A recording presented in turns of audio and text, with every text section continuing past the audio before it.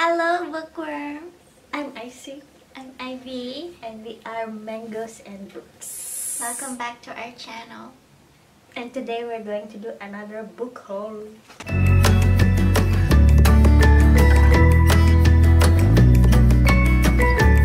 So we've been going to the library, and in total, I've got four books. I have six.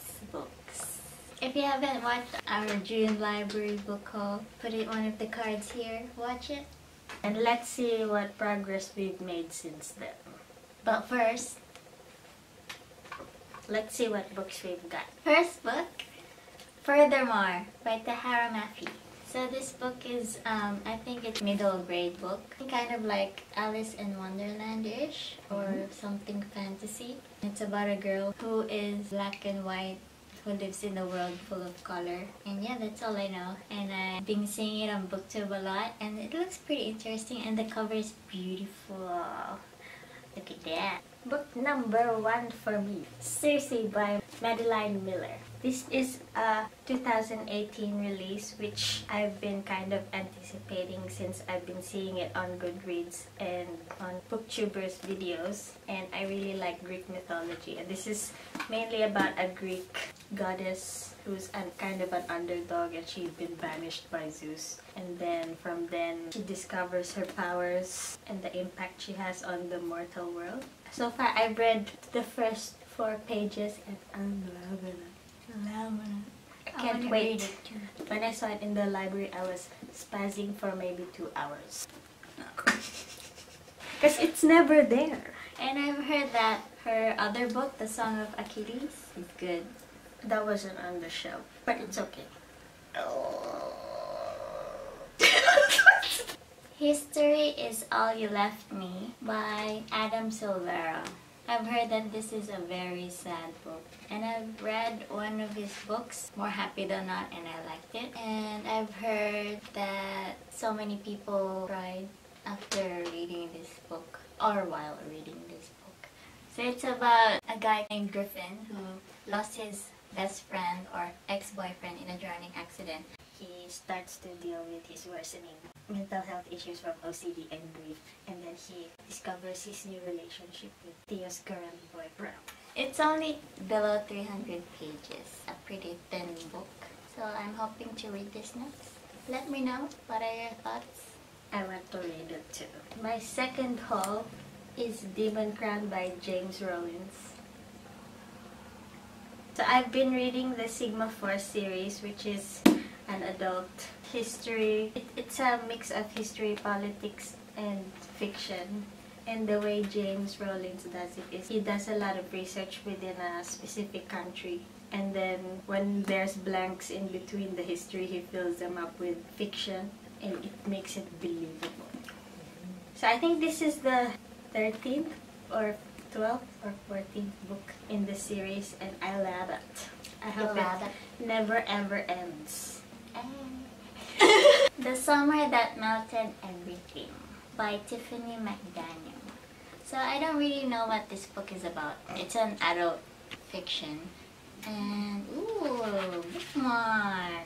It's about uh, during the time in 1984 during the heat wave or something. It's like a uh, a boy who's devil incarnate, something like that. It's pretty mysterious. There are so many good reviews about this. I think more than four stars out of five. It's pretty short, too. so I wanted to read it. Nice cover. A Skinful of Shadows by Frances Hardinge. So I've never really heard of this book until I went to the library and saw it displayed cover first instead of spine first, which is usually the case. The cover looks so pretty. There's so many glittery leaves and owls and stars. So it's about a girl who gets possessed by spirits who try to seek refuge. And this girl is usually very strong against spirits, but then one day there's this really strong spirit who possesses her and brings her to her father's past where there's like a lot of war and powerful ancestors and there's like war and everything. And I checked the ratings on Goodreads and they're like four star average ratings, which is why I would like to give it a try. It's a very thick book, around 400 plus pages, and let's see how I go. So, if those of you who've read A Skinful of Shadows, please let us know what you think.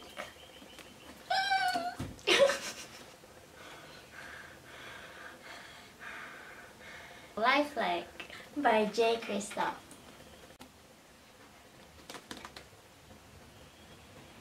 This was released this year, right?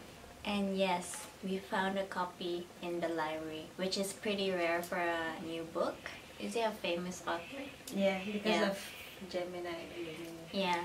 And he's Australian. Yeah. So what it just says here, it's Romeo and Juliet meets Mad Max meets X-Men with a little bit of Blade Runner cheering from the sidelines. And they have the the three laws of robotics, which is pretty interesting. I'm hoping this one is good because I don't know why, but I didn't like Nevernight. I want to give it this one a try. Two, four, go. Is this a new release too? Oh yes. Oh! The Surface Breaks by Louise O'Neill. So this is a young adult new release this year. From our book tag from a previous video when we had no idea what releases we were looking forward to this year. We have this one, Circe and Lifelike. So this is a Little Mermaid retelling. As a kid, I loved The Little Mermaid, and the cover is so beautiful. I'm currently reading this as well. I'm actually halfway. Not really, almost halfway. I was reading this along with two other books. But before we get into that, I was watching book reviews on The Surface Breaks, and I was watching one review in particular, and that was Chloe, Books with Chloe, and she said she kind of felt about this one. I don't know why, but I don't feel about this. Maybe because of the Little Mermaid elements. If you think King Triton was strict, you should meet the Sea King. It's more Game of Thronesy. The realities in this book are more harsh. and it shows how females are very oppressed in the Sea Kingdom. And I want to find out how she finds her way in the human world. Mm. Since it's a library book, dust jacket is taped to the book.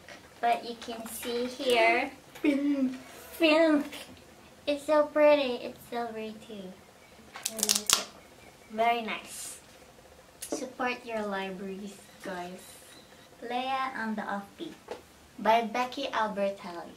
So I've read all of her books. Ooh, How many books does she have? She has the Simon, the Unrequited, mm. and this one. Mm-hmm. And they're all in the same universe. In each book, there are characters who are related to each other. Mm-hmm. So Leah in this book is the cousin of Simon. I thought she was Simon's best friend. Mm-hmm. So I finished this book like two weeks ago. This book kind of got me out of my reading slump. I just needed some contemporary books. And yeah, it's pretty fun. Is it funny? Yeah, it's kind of funny. The character was pretty not even tempered. But yeah, mm-hmm. understandable because she's a teenager. I just finished reading Unwind today. It took me a long time to finish it because I kept getting distracted by the books that I would keep on borrowing. So while I was reading this, I started reading The Surface Breaks. And then I finished it today. So because we loved Scythe by Neal Shusterman, this is Unwind. This is the first book in the Unwind series. It's a very hard subject. So it's like it's set in this world where parents are given the authority to get their children unwound. Like they could be organ donors. They could send their kids off to harvest camps to get their organs and body parts donated. Mm. Which is weird. It's a sad thing. Why would you send your child What happens to their organs? when adults need like a heart or a lung that they get to give it? What happens to the kid? I don't know, but they don't necessarily die. I don't know how they're kept alive, but they're no longer in a complete anatomical state, so they're all separate. It kind of made me sick to think about that idea of a world where parents do that. So I probably would stay away from the the next books. it was it was very I probably need a happy book right now. Something not heavy. But I like his writing. I like how he represents the different characters in the different mindsets in this book. And how he questions the process of unwinding and what if there really is a soul, what happens to the soul, or if they're really alive. I'm just glad I finished it so I can move on. So the last book for my haul, library haul, is my current read, Turtles All the Way Down by John Green. I was hesitant to pick this up at the library when I saw it because John Green's books were the first books that I read in YA. And back then I really loved it. He was my favorite author. But now I've outgrown it, so, so I don't know how to feel since I've read so many books So many So other many. young adult, Yeah. uh, other not better but different authors. Yeah, so many books in between the last book he wrote and this one. So there was a huge gap. And I'm currently on page 48. So far, so good. 280. I'm still getting to know the characters. So it deals with a girl called Aza who has OCD and yeah, mostly about mental health.